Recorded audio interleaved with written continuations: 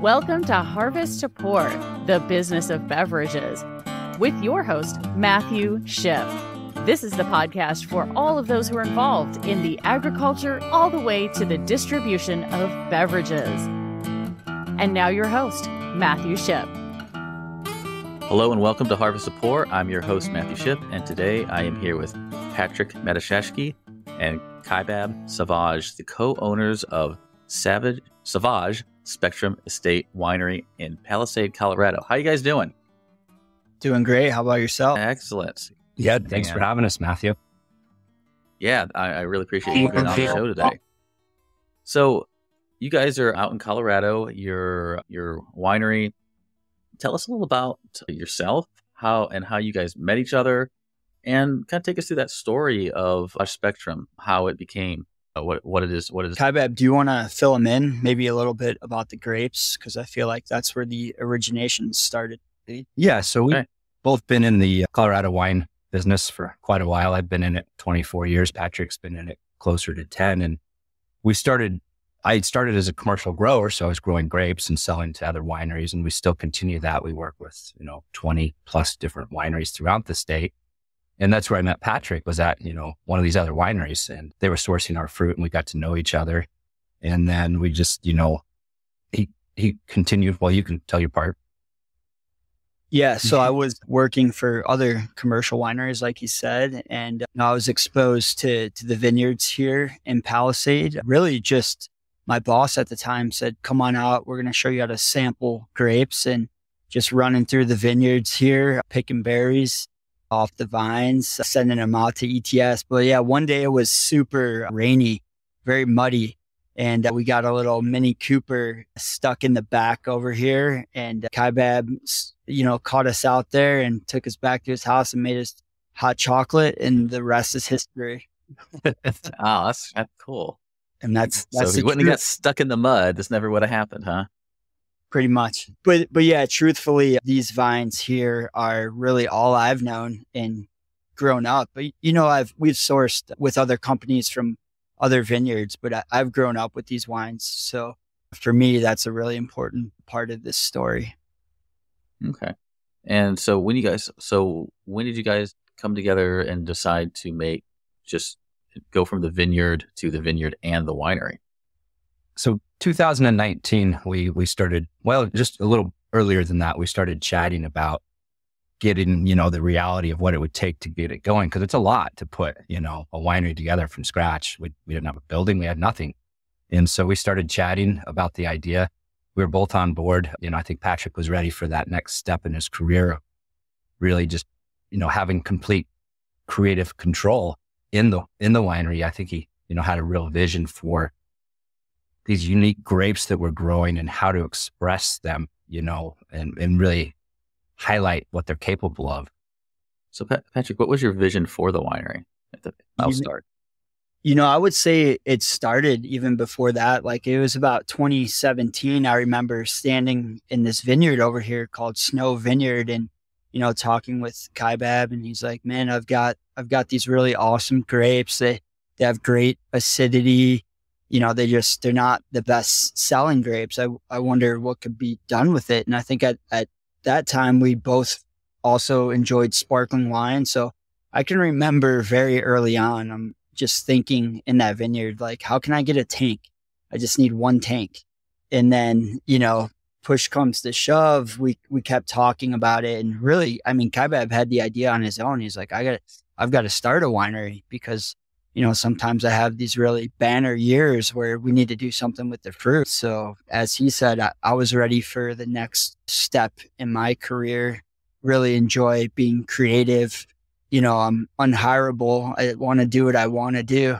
So, it's, it's, it was just, it was time. You know, I was working at a corporation that I didn't quite enjoy. You know, the money was good and stuff. So, we're just excited to take that next step. That's awesome. Where did you, was it your idea to take it to the grapes and go sparkling? That later on, co- collaborative. You know, that's, early. That's, yeah, yeah. That's why we we started this whole this whole project. Is so in 2017, standing in that vineyard, Kaibab I think gifted me and another company I'd worked for about a half ton. And we, we actually piloted this R&D batch, you know, elsewhere, sold it under their brand and it, it was a hit. And so what we did is, is what I did is take that information, you know, from that R&D batch and we, we kind of dialed it in and we, we changed the processes so come, you know, 2019, when we were ready to open the doors, we, we kind of knew what we were doing. So we've really been working towards this goal. You know, to start, we had a, a, a brut. We had one that was a little bit off dry. Um, and that even grew into a sparkling red. So we were, we really had the vision very early on. 2019, we opened the doors with Sparklet and quickly adding more and more. We figured, yeah, let's make some red wines. Let's make some white wines. And it was really Kaibab who would always come to the winery and say, Hey man, there's this challenge. We have these grapes. What can we do with these? And, and that's why our company's been very successful because we're not copying the neighbor. You know, of course, you know, we pay attention to tradition, but we're utilizing lesser known grapes and we're not afraid you know, to, to create this blend that's not traditional. And I feel like the the younger demographic is is really interested in that. Yeah, that's that's I really like that. Which you're you're taking different varietals of, of grapes and seeing what you can do with them. Was the grapes that led you to being sparkling, or is that just where you wanted to start with, and then you've just figured out how to incorporate the different varietals into sparkling wines? So, I mean, what I think we've really embraced is you can't force a wine or a grape to be something it doesn't want to be. And so these these varieties Patric's talking about, we planted we planted them into response of of the weather conditions here in Colorado. These are very hardy, robust varieties, but not well known. And so it, w- it was challenging to get sales because people weren't familiar with them. And so I think what Patric really did was figure out what the grapes wanted to be. And these definitely want to be sparkling. The numbers are just beautiful for sparkling and, and the, and the acidity and just how they're, they come out. They have so much fruit, yet so much acidity. You just get this amazing fruit forward sparkling wine. No, it's really, now they are a heartier wine. Does that give them a higher sugar content with the acidity or, or what is, what, what enables that, that grape to be that way? So they take the winters better. Their, um, their okay. buds will actually take lower temperatures, like a traditional European grape variety, about its mm-hmm. threshold, fully acclimated, is like negative five, and then it the buds down. That's great. And so these, some of these, some of these are crazy. Some of these are polar bears. They'll take like negative thirty. It's it's wow. it's insane. There's a we work with a, a private breeder, uh, Tom Plocher. Some of his stuff is just amazing. He's he's creating these varieties, new varieties, American varieties that that really oh, thrive in in you know our our different conditions that we have. Okay. Now, some of the I know some of the first varieties. I'm getting a little off subject here. I guess, I guess the Nortons eventually is is that a, a backbone of that, or is this something completely new? These are new. The, a lot of this, a lot of like Tom Plocher's at least, is coming out of Lewis Swenson's breeding program out in Minnesota. And, and okay. so, oh, wow. Norton is is one. It's an older one that I think, yeah. But no, these are these are these are novel. There's there's this VitisGen program of these different breeders because there's universities, Cornell and uh, University of mm-hmm. Minnesota, mm-hmm. And and they could actually use you know science to kind of speed up the breeding process. The breeding process can take traditional breeding. Oh, yeah. It's 30 years. It's if mm-hmm. they shorten it to like they can get new varieties in 10 now. It's pretty crazy. I used to do some of that. I was a molecular plant biologist in a past life, and cool. so and most of, funny enough, a lot of my varieties I worked with were cold weather. I worked with sugar beets, yeah, and I worked with a, a cousin of canola, and working on some biodiesel and some other things. So yeah, I totally in Minnesota. I actually had test beds up there, so that yeah, you're very home familiar with it. That's cool. Yeah, yeah, So yeah, they're using like PCR. So you know they have the the, yep. the genome sequenced, and they're able to yep. different traits. It's crazy. Oh yeah, yeah. The PCR, they've got different ways they can incorporate those genes now. It's it's really neat. Getting back to the wine, what were some of your open challenges you guys had? Well, really, you said you were starting to build this. You you were just starting from scratch. What were your your biggest early challenges getting this going? I mean, yeah, for me at least, it was finding a spot to build it. So we we had to take out vineyard and put up the building, and then we had to put together a winery on a on a very bootstrapped budget. so we sort right. Pretty much everything in the in that uh, you know aftermarket from different wine regions. You know, we have tanks from Texas, our presses from Oregon. It's you know we just kind of started looking for what we needed and putting putting the pieces together. Patric, yeah. anything to add to that? Yeah, to add to that, it's of course buying classified sight unseen. You know, sometimes there's some, you know, problems that arise there. So working through those, but all in all, you know, we've got a pretty sweet deal over here. You know, it, it is kind of like a, a very big garage operation. We got the floor drains where we want them but it's it, we we still have enough room to to grow a little bit here in certain regards. But besides that, I would say for the business, COVID, obviously, COVID mm, was yeah. was the biggest challenge that we worked through, and there there are some pros and cons to that. Oh, really? So take us through some of the pros. Well, the pros, believe it or not, we're here in Western Colorado. So it's an area, high desert right before you hit Utah. And uh, it, it's a wine region, but unbeknownst to us, because COVID canceled everyone's travel plans, your, your trip to Bermuda or what have you, Mexico, everyone jumped in the car three hours, three, four hours, you know, from Denver and really explored their backyard again in their, their agriculture, agricultural area. Oh, they came, they came out. Yeah. Jump in, Kabe. Oh yeah, you just cut up for a second. Yeah, it w- it was crazy. So you know, at first it, it was we had just opened and there was no business, and they're like, you can do curbside, and we're like, we don't have any customers. Like we do, we have we have to meet some people first, and and then it kind of opened up a little more. And I think I think Mesa County was very progressive in there. They had a five star variance, and if you followed all the rules, you could open back up, and and we did, and we had a we have a big crush pad. We built it to make wine but we found out people love to hang out out there. Like it's a big covered patio. So, you know, we have like a 3000 square foot patio, which was perfect for COVID. Like we, yeah, you know, yeah. everybody could space out. And so we, we saw a huge bump from that. Like Patric was saying, people traveling here and really finding wine country in their backyard that a lot of them didn't even know were here. And, and then pleased with what they found, the quality and the experience and coming back and telling their friends wow, it's really interesting that COVID, instead of wiped so many people off the map, this one actually helped really stabilize you guys on the map.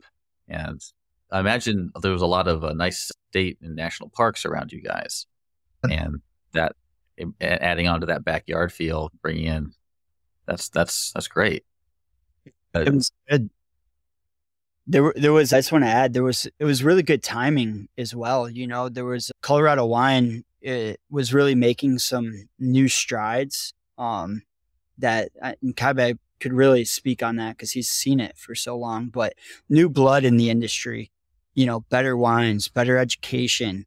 So the last time people had tried Colorado wines, you know, maybe they were sweet or, you know, maybe they, they got unlucky and had a bad wine. You know, there's good and bad wines. You got to sort through them.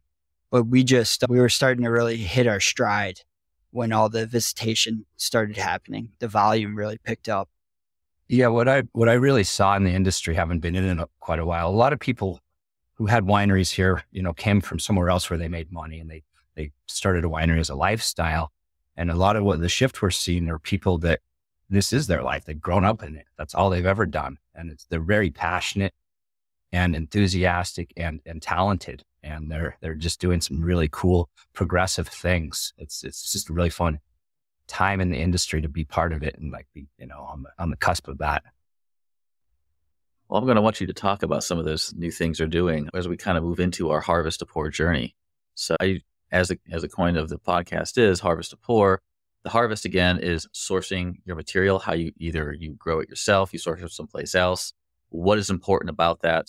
And, and in your case, what changes are you seeing in this Colorado wine industry that are that's you believe making these businesses more relatable to new palates and the and then also making your wine uniquely yours. There's you know craft brewing, there's specialty roasters, and there's also unique ver- varieties of wine. How do you make it yours, and how do you make it stand out? And standing out kind of takes us into the pour. How do you get you, you sir? How do you turn this into a service? How have people recognize your wine, appreciate your wine, want to come back for more? So I'm going to step back. That was a long question. I want to step back and let's start into into the harvest. I am very interested. It's great that I have a, a vineyard grower with us today. And what are you seeing right now in the industry? And what are you seeing? What are you excited to, to get to play with you pretty soon? So yeah, it's something I've always really enjoyed is is growing new grape varieties and really trying to figure out the best varieties that fit our climate for Colorado. And and we we grow over 30 varieties, which is kind of a crazy number, about 60 acres of wine grapes. But what I'm seeing is is kind of the trend is kind of this higher alpine varieties, more similar. You know, we're we're high elevation, but we're still hot, so we're not like cool climate like Pinots.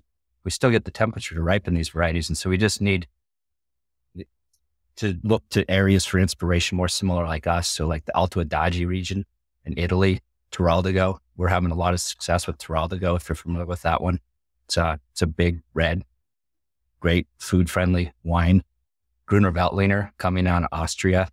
That one's been really cool for us as well. Pinot Meunier is coming online. That'll go into like a classic, classic sparkling wine. It's one of the three champagne grapes that are in champagne.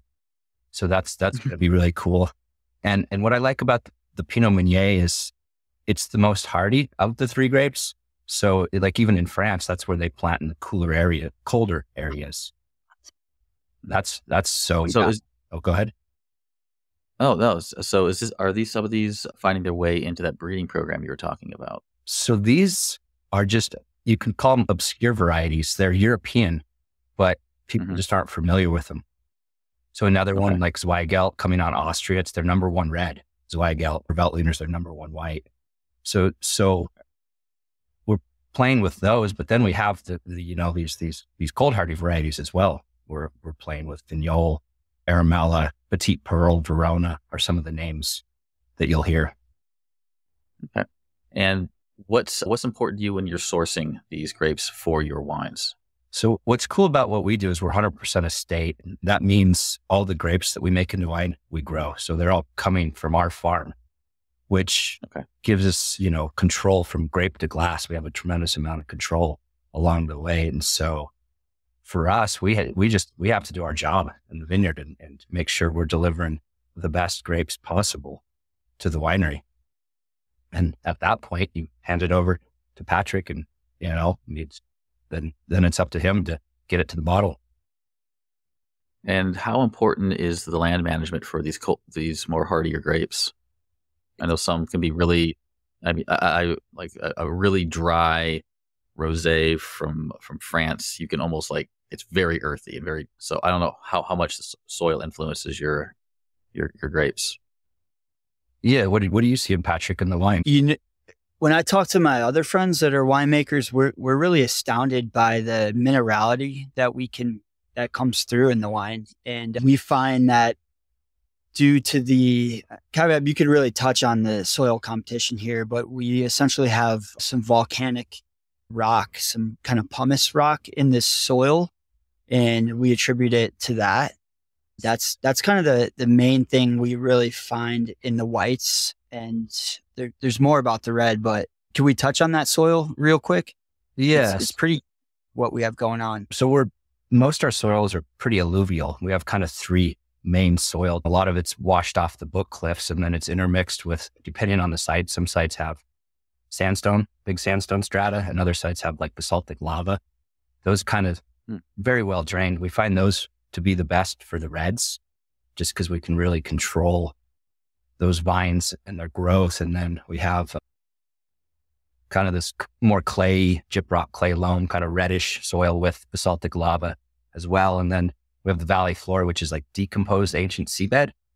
And we're growing a lot of our cold hardy stuff over there on those soils. And so we're really trying to pick, match the site to the grape variety and what will really excel. And then the farming practices are slightly different on each soil because they have different water holding capacities. And so we're, we're looking at irrigation and, and the nutrient requirements, some of the, that, that decomposed seabed has, is a lot richer soils and those, a lot of those farms have been in alfalfa or grass hay forever. So they have tons of organic matter. So we're, we're just trying to balance all these, all these parts to the equation. It's neat. You really, really got a unique playground to experiment with your, your grape and your growing techniques, even not only just the varieties. That's, that's, that's, that's very exciting. It keeps it interesting. yeah. Yeah. So Patric, once you get Kaibab, get you the sources your, your grapes for you, you get this wine. How do you start making it uniquely yours? I would say, you know, we want to be inspired, you know, and calculated in, in what we're doing and really showcase the quality of of the grapes of the fruit. So, you know, there's a lot of time at night reading what should we do with these grapes, and a lot of times we're looking to, you know, an area that's been dealing with them for years and years. So, for instance, what we found with these American cold hardy grapes, I, I felt inspired by, you know, what some of the natural winemakers were doing in the south of France, you know, since the 50s or even prior to that and, you know, really just letting the grape be what it wants to be. You know, we're not over here heavy handed, you know, throwing oak to, to hide flavors that are developed in the vineyard because we are an estate winery. So really the focus is always on, you know, how can we coax the fruit out of these grapes? Okay. Have, have you, you said you were, you're not doing much to add to it. Do you have a, is your, is your process any different than anybody else's or what do you? Yeah. How do you? You say you just estate. You want to make this your your your, your estate, your your claim, your unique wine. Yeah, and we have so much going on. We have so many different brands. You know, pretty much the company. Our our pet nats. If you're familiar with like Petillant Naturel wine, they're bottled under a really cool label. You know, with like a bus on a rainbow, kind of like a comical label. But basically, that line of wines we don't touch. You know, it's what comes in is what ends up in the bottle. So ironically, they're taking on, you know, flavors that almost don't taste like grapes. They almost taste more like sour beer. And that's, that's just the nature of that.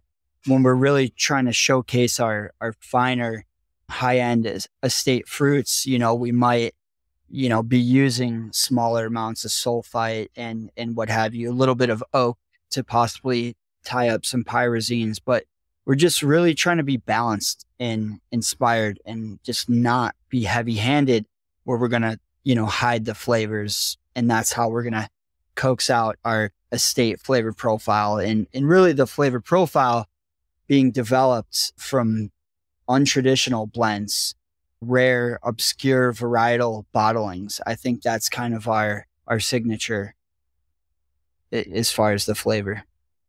So, what are some of the challenges you're running into running into obscure wines? There's no there's no real playbook for these for these new varietals or obscure ones. So, do you run into any challenges on the way? Yeah, I mean, I think it, in the vineyard, you know, we see see some stuff. We're like, oh, wasn't expecting that. You know, but same thing in the vineyard. Just real quick, with these these most of these, at least the cold hardy varieties. What's really cool is they're pretty grower friendly because you know they're they're they're looking for disease resistance and things like that. So you could you'd actually back off on on some of your cultural practices and, and be a little more you know sustainable in the vineyard.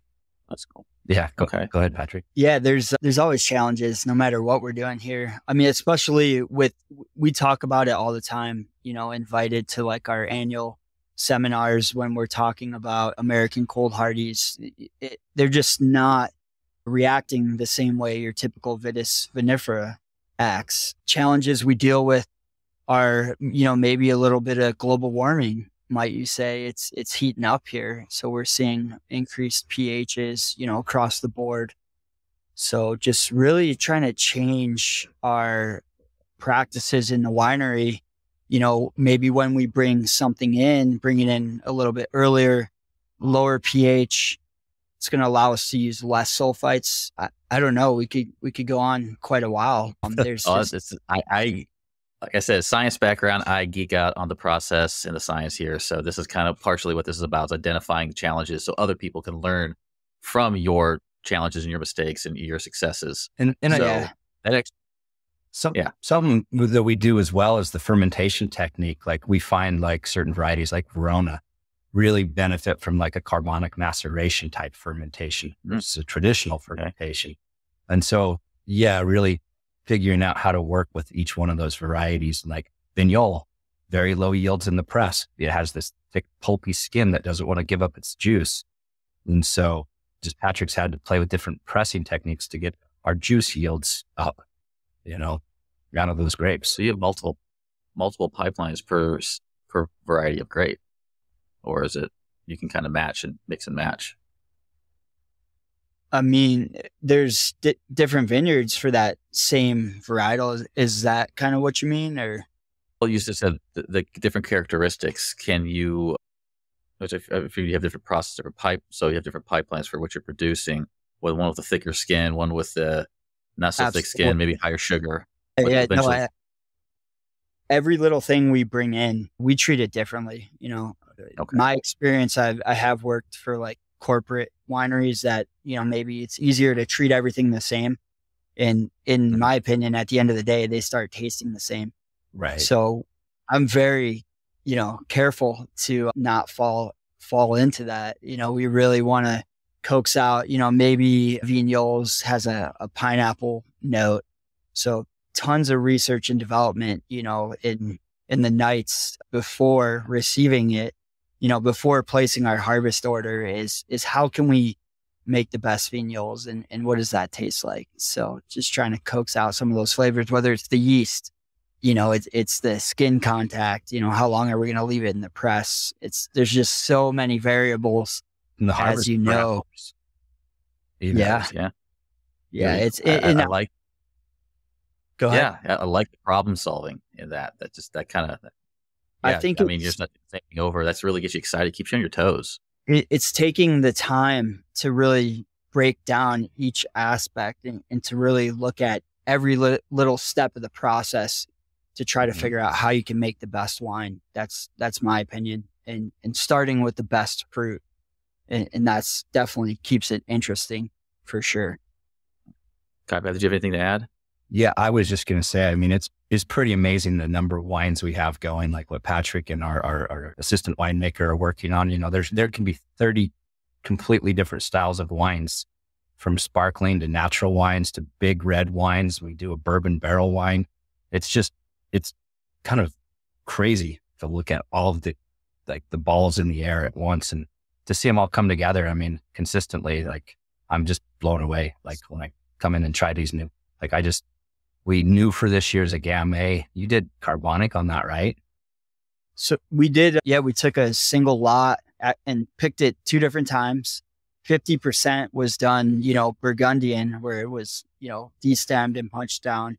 The other 50% was wrapped up for carbonic maceration and flooded gas. So, I mean, that's just an experiment right there. But yes, we did cool. partial, partial car- carbonic. Oh, it's funny on my side. I spend so much time in the vineyards I don't always know what's going on in the winery. And so I'll just go in and look around and find barrels. And I saw the Gamay and I'm like, oh, cool. I want to try this.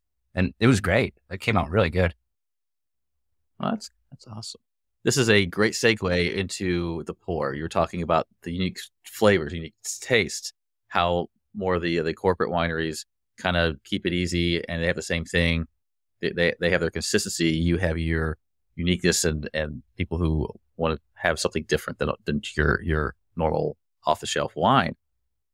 How do you, uh, for the pour, how do you inform people about who you are, get them out there, taste them, and keep them coming back? I mean, mostly what we do is is very guerrilla. No matter you know how we get to the to the end, we we do it ourselves more or less. We have a distributor, but we're out there using social media really as much as we can. You know, we're running Google ads, we're actually throwing in festivals on our own and also attending festivals, you know, the good old fashioned way, just, just get your product out there, start mm-hmm. tasting it, showing up at accounts, ride alongs with the distributor or just showing up on our own, you know, cause we, cause we drove by, you know, Hey, let's go, let's go stop in, see if they sold any wine, that kind of thing. Okay, you have anything? You growing out, are you distributing beyond the borders yet, or are you still within Colorado? We've done a little bit in California, Texas, mm-hmm. and it hasn't been like crazy reorder or anything, but yeah, it's out there. We're we're really focused, I would say, on you know winning our our home territory. There's quite a bit of competition out here, more and more, especially you know just in our town. So trying trying to be focused that you know everyone that comes to Western Colorado or Palisade is going to come to Sauvage Spectrum. That's really important. And I look forward for it. I'll, go ahead. I would add we we offer a different experience that I think a lot of people really enjoy. It's it's kind of this industrial, laid back vibe, and and so it's not people just feel comfortable in our space. I, I hear it all the time with our guests. They just really feel comfortable, and then they have a good experience and they like the wines and they talk about us. You know, word of mouth is huge. And just getting that is, is, is a big win. And then we do run farmers markets as well. We're at like four different farmers markets throughout the state, had a lot of success there. And then we also have a, a remote tasting room in a small mining town, Ouray, Colorado. So we're part of cool. another community too. We're, we're kind of the ambassadors of the Colorado wine industry in that regard in that area. It's in the Padre Valley and we're like two more hours down the road is wine country. You know, it's, it's, it's, it's pretty cool. Oh, that's neat. Well, I, I look forward to your wine coming to Missouri. Um, so we yeah, we have our own wineries and wines out here, but it's it's always good just to see different different influences coming through. Yes. Yeah, yeah. Emerson, uh, Norton's. Mm-hmm. We have a really good. I interviewed them a while back. Noboleis is doing great things with the Nortons and turning them into sangrias. It turned into the can sangrias that now the I think Major League Soccer is actually purchasing for the uh, local soccer team out here. It's it's wow. kind of a neat story. That's a, so yeah and then you got some really cool stuff going on too. And th- so that takes me to another piece. What is your current biggest challenge right now? All this stuff, you've got your harvest, you've got the creation, and you've got the marketing. What's your biggest open challenge currently? I, I personally think it's it's with you know sales because what we're seeing is that uh, the wine sales are slightly dipping, giving way to whiskey really non-alcoholic is I, I, look at that as the biggest challenge for sure. And on the on the national scale is is been on the downturn a little bit, and we're bucking the trend. We had sales growth, but we're working really hard to get there. Mm-hmm. I mean, it's a tremendous oh, yeah. amount of work for seven percent, but like we're we're making it work. You're, yeah. you're right there with the coffee shops. I think they're sitting at seven or eight if you're doing well. So Right. That's great. We're constantly well, being told, you know, through winebusiness.com or, you know, the rest of the industry publications that, you know, we're not catering to the up and coming demographic. And, you know, that's constantly what our, what our eye has been on is, is how do we, mm-hmm. you know, cater to this generation? How do we sell them wine? But also what I've, I, I think I realized in the past couple weeks is, you know, we don't want to disregard the baby boomer because they are, you know, one of our, our biggest customers. Mm-hmm. So yeah, we're really trying to create wines and maybe not the exact same wine that appeal to different demographics. So, you know, we still have those, mm-hmm. those big reds, those traditional styled ones, but then we have like the pet nats for the more natural younger wine drinkers. Our our sparklet, which is more of like a classic sparkling wine, you know, kind of you would see at weddings or brunches or, you know, so really just have all these different, you know, we have, we truly have something for everyone when you come in. We have a, yeah. a dry hopped pet nat. So it's more like a beer. It's, it's, it's cool. Wow. I was going to mention that sour, as you said, it's almost like a, almost like a sour beer. That's definitely something the, the new drinking generation is is interested in. Mm-hmm. Those fruit sours and such. So yeah, I I think you, you even mentioned Patric that you're you're you are attracting that younger palate. Yeah, I think you have to, of course, you know, without scaring away the baby boomer. But new challenge. We're just we're just trying, you know, is the best we can. We're very diversified as far as our portfolio. When you come in here, it, it looks more like a brewery almost, kind of like a small batch brewery. And, and some of our bottlings, like the pet nats, show that because why why do we just have to have a traditional, you know, wine label with a chateau on it? You know, it doesn't appeal to the younger demographic, in my opinion. So, so we're really, you know, trying to explore different designs in in the graphic design department for our label. We're just we're trying, man. We're trying every sales avenue that we know, trying every whatever to, to get people yeah. in the. That's, I mean, definitely. I really like the the innovation towards these unique ideas and kind of not keeping it traditional, but bending the trend enough and experimenting with new ideas, new flavors. It's still wine in the end. It's just what the wine gives you. That's that's. I really think that this is great.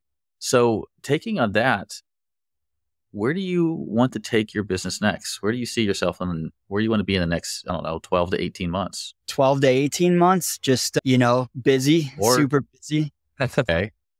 So, so the code we need to crack here on Western Colorado is, is how do you make your winters busy? So how, I mean, okay. it would be awesome, right? In 12 to 8 months to have a tasting room in Vail. I don't think that's exactly attainable for us, but we need to figure out how to generate more cash flow and more revenue during the winter. So I think that's a bigger problem just here eh, with our community, period. But yeah, just generating more sales, bringing more people in, busier locations, maximizing each location we have, adding food to, to get people to stay longer.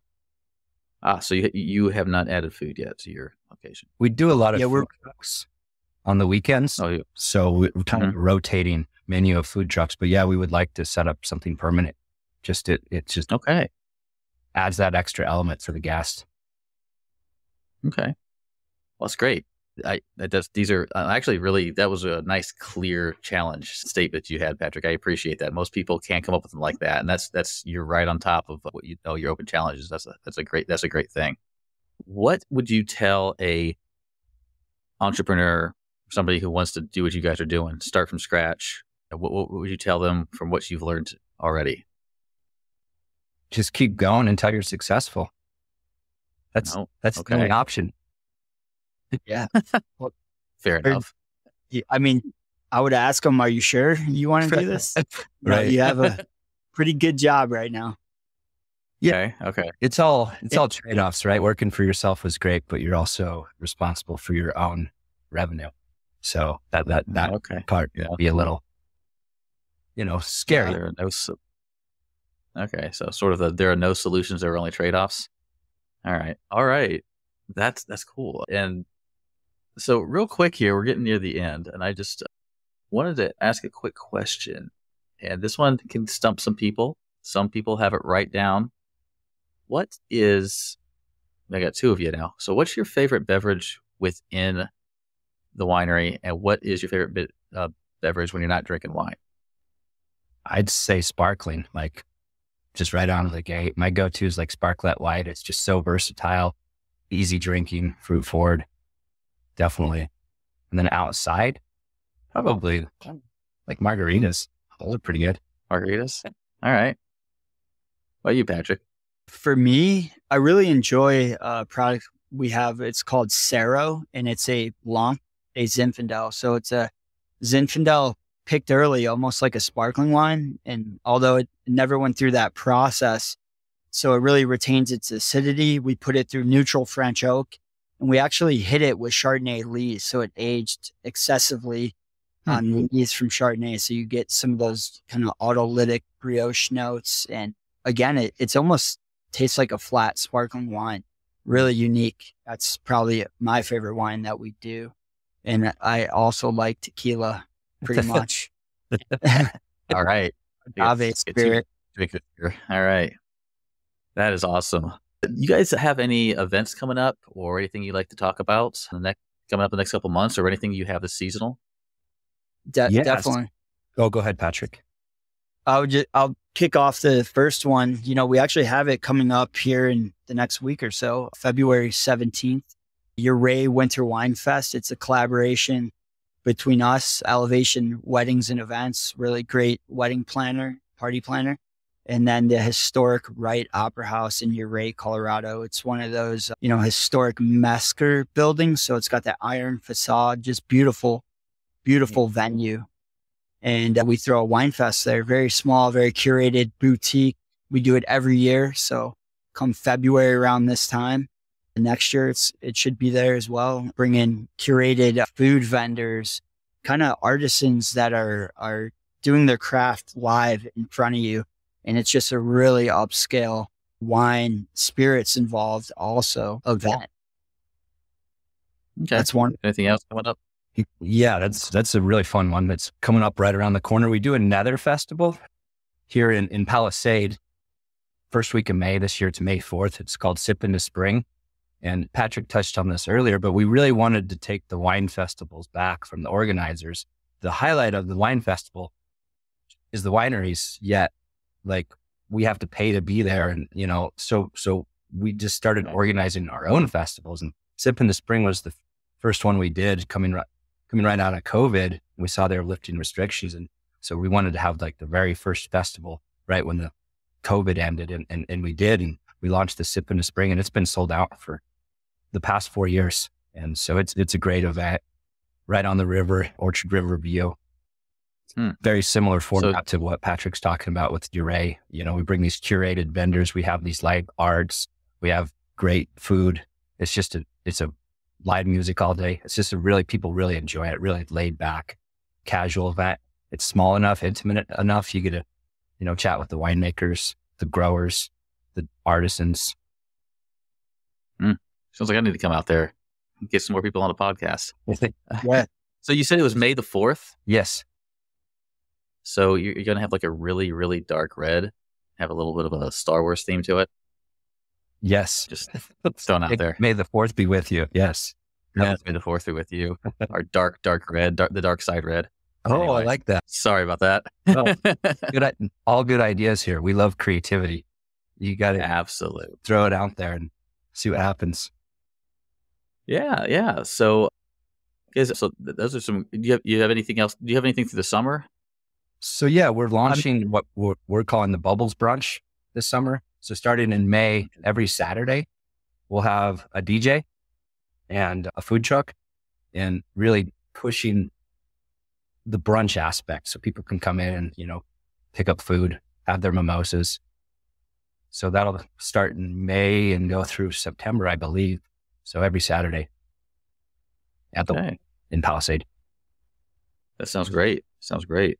So guys, this has really been a cool story all the way from, you know, it may have never happened if somebody didn't get stuck in the mud, all the way to the unique soils and varieties that you're bringing in. And Patric gets to play with all this and problem solve for all this, which I, I don't know if you're—I'd be geeking out on that too. That is that is a great thing, just to be able to play with all these flavors and all these ideas.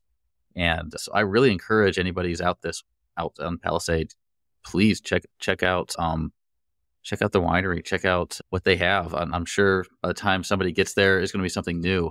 I love the idea that you have these sours coming out, much like beers, and it's just this really cool. The beverage industry has this neat blend of.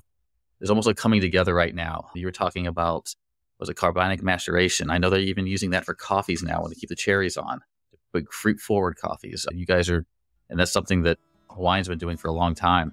But just all your different practices, and I really wish you guys luck really curious about how things will go to your, your, your open challenge of getting the winter wine scene going. I, I, I like this idea. So, you guys, this has been a great, great interview. I really appreciate it. And I hope to run into you guys and hope to see some, some of that wine out here in Missouri too. Thank you. Thanks a lot. Yeah, thanks for having us, Matt. All right. Talk to you awesome. later. Thank you. Thank you for listening to Harvest to Pour, the business of beverages with Matthew Shipp. Check the show notes for our guest contact information and connect with Matthew Shipp on LinkedIn today.